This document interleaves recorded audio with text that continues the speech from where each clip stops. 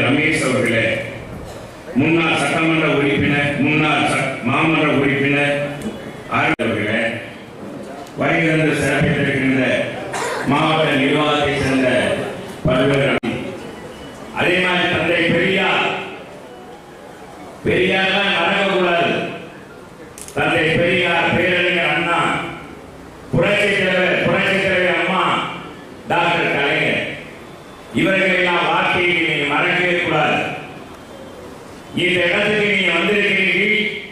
You are very.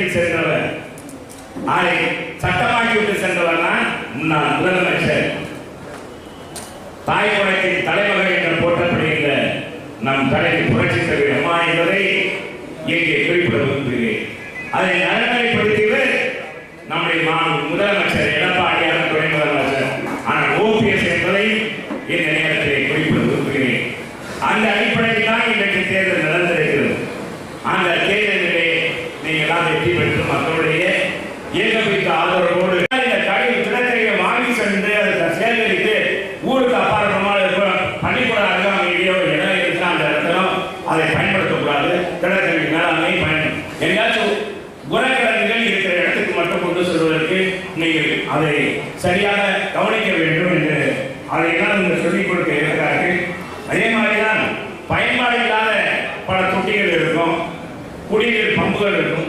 அதையெல்லாம் நீங்கள் என்ன செய்யணும்? அதெல்லாம் மூடிடணும். அதில் அதை பயன்பாடுக்கே என்ன அதை அது என்ன எந்த வகையில் அதை க்ளோஸ் பண்ணணுமோ அந்த அளவுக்கு நீங்கள் அதை என்ன பண்ணீங்கன்னா வீண் வந்து ஏதாச்சும் அதில் அதனால எதுவும் கேஸ் உற்பத்தி ஆகிறது ஏதோ ஒரு தவறும் நடக்கக்கூடாத அளவுக்கு அதெல்லாம் நீங்கள் தான் பார்த்து ஒழிக்க போகிறீங்க ஆக இதெல்லாம் உங்களுக்கு சொல்லித்தர இருக்கிறார்கள் இது சிறப்பான இந்த பயிற்சி முகாமை நீங்கள் சரியாக பயன்படுத்தி உங்களுடைய வாழ்க்கையில் நல்ல ஒரு இந்த பயிற்சி முகாம் எங்களுடைய பணிக்கு மிக சிறப்பாக அமைந்தது என்ற நற்பெயரை கிடைக்கின்ற வகையில் இந்த பயிற்சி முகாம் வெற்றியடைய வேண்டும்.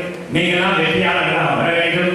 இந்த பதவியில் அடுத்த தேர்தலில் நீங்கள் பெரிய இதற்காக பெரிய பதவியாக அமைச்சராக ஏன் முதலமைச்சராக கூட இன்னைக்கு நம்முடைய முதலமைச்சர் கூட சாதாரண இதே மாதிரி இருந்த பதவியில் வந்து வந்தவர் தான் ஆக, யார் வேணாலும் எந்த பதவிக்கும் வரலாம் மக்களுடைய நம்பிக்கை தான் மக்களுடைய அபிமானத்தை தான் பெற வேண்டும் நாம் பணியாற்றின காரணங்களில் நான் இந்த அளவுக்கு இந்த சாதனைகளை என்னுடைய கிராமத்திற்காக செய்தேன் என்று நீங்களே எண்ணி பெருமைப்படுகிற அளவுக்கு உங்களுடைய பதவியை பயன்படுத்துங்கள். உங்களுடைய இந்த அருமையான பயிற்சி முகாம் உங்களை எல்லாம் பார்க்கின்ற வாய்ப்பை கொடுத்த மாவட்ட நிர்வாக மாவட்ட ஆட்சித்தலைவருக்கும் வெற்றி பெற்ற ஊராட்சி தலைவர் துணைத் தலைவர்களுக்கான வெற்றி பெற்ற அந்த தலைவருக்கு இன்னைக்கு ஒரு நாள் பயிற்சி முகாம் மாவட்ட நிர்வாகத்தின் சார்பாக பயிற்சி முகாம் இன்னைக்கு நடைபெறுகிறது. அதை நானும் நம்முடைய புறநகர் கிழக்கு மாவட்ட செயலாளர் நான் சட்டமன்ற உறுப்பினர் ராஜன் செல்லப்பா மற்றும் கழக முன்னோடிகள் கலந்து கொண்டோம். மாவட்ட ஆட்சித்தலைவர் மற்றும் கிராம அலுவலர்கள் கலந்து கொண்டார்கள். சிறப்பு முதன்மை சிறப்பு முதன்மை ஒரு ஆட்சியாளர் மாவட்ட ஆட்சியாளரும் கலந்து கொண்டிருக்கிறார். பயிற்சி கொடுக்க இருக்கிறார்கள் அது கலந்து கொண்டிருக்கிறார்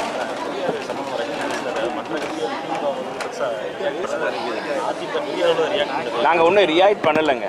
பொதுவாக வந்து தலைவர்கள் வந்து ஒரு கருத்தை வைத்து கொண்டு இது ஏறத்தாழ ஐம்பது ஆண்டு காலம் ஆனப்படும் இது இப்போ வந்து பேசணும்னு தேவையில்லை. ரஜினி அவர்கள் வந்து அவருக்கு இருக்கிறது அவர் எவ்வளோ எப்பவும் நிதானமாக இருப்பார். இப்போ வந்து அவருக்கு சரியான வழிகாட்டல் யாரோ தவறான வழியில் கொண்டு போகிறாங்கன்னு நினைக்கிறேன். தந்தை பெரியார் ஒரு கருத்தை மட்டும் எடுத்து சொல்லுவது இன்றைக்கு சால பொருத்தம். அவருடைய அவருடைய உழைப்பு தொண்ணூத்தைந்து வயதில் மூத்திர பையை தூங்கி கொண்டு இந்த நாட்டில் ஜாதி ஒழிப்புக்காகவும் மத அந்த நடவடிக்கை அது அந்த தீண்டாமை ஒழிப்புக்காகவும் பாடுபட்ட தலைவரை பற்றி ஏதோ ஒரு நிகழ்வை சுட்டிக்காட்டி அது அதோடு முடிந்து விட்டது. முடிந்து போன பிரச்சனையை இன்றைக்கு வந்து கிளப்புவது என்பது சரியா இல்லை. இன்றைக்கு கூட அவருடைய மகளுக்கு இரண்டாம் திருமணம் நடத்தியிருக்கிறார். இதெல்லாம் எப்படி வந்தது? அவருடைய ரஜினி மகளுக்கு இரண்டாவது திருமணம். இதெல்லாம் அந்த காலத்தில் அவங்களுடைய மத அடிப்படையில் ஏற்றுக்கொள்வார்களா? இதையெல்லாம் மாற்றம் கொண்டு வந்து அந்த தந்தை பெரியார். அப்படிப்பட்ட ஒரு பெரியாரை மறைந்த ஒரு மதிக்கத்தக்க ஒரு தலைவரை வைக்கம் உங்களுக்கு தெரியும் வைக்கம். வைக்கங்கண்ட பெரியார் என்று பேசப்படுகிறது மகாத்மா காந்தி அவர்களுடைய அவர் சிந்தனைகளை நடைமுறைப்படுத்தி உண்மையாக அதுக்காக இறுதி வரை பாடுபட்டவர். அவரை பற்றி கொஞ்சமாக பேசுவது சரியல்ல என்பதைத்தான் அண்ணா திராவிட முன்னேற்ற கழகத்துடைய தலைவர்கள் இன்றைக்கு எடுத்துக்கிறார்கள் ரஜினி மீது மீது எங்களுக்கு எந்த விதமான இதுவும் கிடையாது. ரஜினி அவர்கள் எழுந்தனையும் நிதானமாக பேசக்கூடியவர் எதிலையும் நிதானமாக கடைபிடிக்கக்கூடியவர். தேவையற்ற முறை ஐம்பது ஆண்டுகளுக்கு முன்பாக நடந்த ஒரு நிகழ்வை எடுத்து இன்னைக்கு பேசுவதற்கான வாய்ப்பு வந்தது என்ன? ஒரு தலைவர் ஒரு நிகழ்வை வச்சு ஒரு த மாபெரும் தலைவருடைய போராட்டத்தை அவருடைய பெருமையை சீர்குலைக்கின்ற வகையில் பேசுவது தவறு என்பதை தான் அண்ணா திராவிட முன்னேற்ற கழகம் இன்றைக்கு எடுத்து வைக்கிறது. அது திராவிட முன்னேற்ற கழகத்தை பொறுத்தளவு எப்பொழுதுமே நழுவி போகக்கூடிய கட்சி. அது திராவிட முன்னேற்ற கழகம் திராவிட முன்னேற்ற கழகம்னு சொல்லாதீங்க. அது திமுக கருணாநிதி குடும்ப கட்சி. அண்ணா உருவாக்கினதான் திராவிட இயக்கம். அண்ணா அவர்களே கடைசி வரை என்ன சொன்னார்? தான் இருக்கும் வரை தந்தை பெரியாருடைய ஆசனத்தில் அமரமாட்டேன். தந்தை பெரியார் தான் என்னுடைய தலைவர் என்று பேரங்க அண்ணாவால் புகழப்பட்டவர். கருத்து மாறுபாடுகள் தந்தை பெரியாருடைய அனைத்து கருத்துக்கும் நாங்கள் ஏற்றுக்கொண்டோம். ஒன்றே குலம் ஒருவனே தேவன் என்று நாங்கள் இணைக்கக்கூடியவர் தான் அண்ணா திராவிட முன்னேற்ற குலம் இன்னைக்கு மத வழிபாடை நாங்கள் ஒன்று நாங்களும் மத வழிபாடு தான் பண்ணுறோம் ஆனால் பத்தாம் வசலித்தனமாக நடக்கக்கூடாது என்பதைத்தான் நாங்கள் இன்னைக்கு எங்கள் தலைவர் அம்மாவும் சரி புரட்சி தலைவரும் சரி அதே வழியில தான் நாங்கள் கடைபிடிக்கிறோம். அந்த வழியிலே இன்னைக்கு தந்தை பெரியாரை சாடியது தவறு என்பதை சுட்டிக்காட்டு ஆனா அதிமுக அனைவரும் முதலமைச்சர் எடப்பாடி சொல்லியிருக்கிறாரு. ஆனா தொ- விட்டு கொடுக்க துணை முதல்வருக்கு விட்டு கொடுக்க தயாரா? அப்படின்னு சொல்லி துறைமுருகன் ஏங்க துறைமுருகன் முதல்ல நான் கேட்குறேன். துறைமுருகன் கேட்குறதுக்கு என்ன தகுதி இருக்கு? எங்களுக்கு அறிவுரை சொல்ற அளவுக்கு துறைமுருகன் தகுதி. ஏன்னா முதல்ல அவர் வந்து அவருடைய அரசியல் பாரம்பரியம் என்ன? வேற எங்க அண்ணாவோடு இருந்தவர் டாக்டர் கலைஞரோடு பின்னி பிணைந்து இருந்தவர் இன்னைக்கு திராவிட முன்னேற்ற கழகத்தில் அடுத்த தலைவராக யார் வந்திருக்கணும்? துரைமுருகன் தானே வந்திருக்கணும். அந்த அறிவுரையை முதல்ல அவருக்கு அவங்க அவருடைய தலைவர் இன்னைக்கு தலைவராக ஏற்றுக்கொண்டிருக்கார்ல? ஸ்டாலினுக்கு. அவருக்கு சொல்ல சொல்லுங்க. அந்த தலைவர் பதவியை அவருக்கு விட்டு கொடுக்க தயாரா? இன்னைக்கு சட்டமன்றத்தில் அதிகமாக பேசக்கூடியவர் துரைமுருகன் தான்.